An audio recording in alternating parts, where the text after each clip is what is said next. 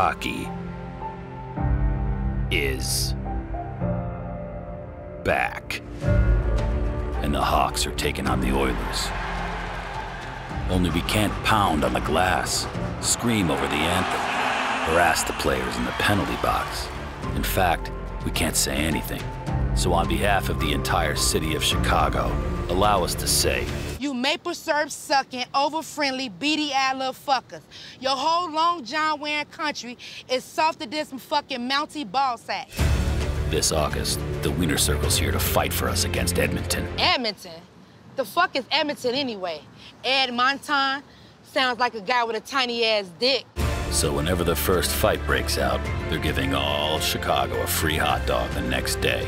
Introducing, they fight a Canadian, you get a hot dog. You motherfuckers even eat hot dogs up there?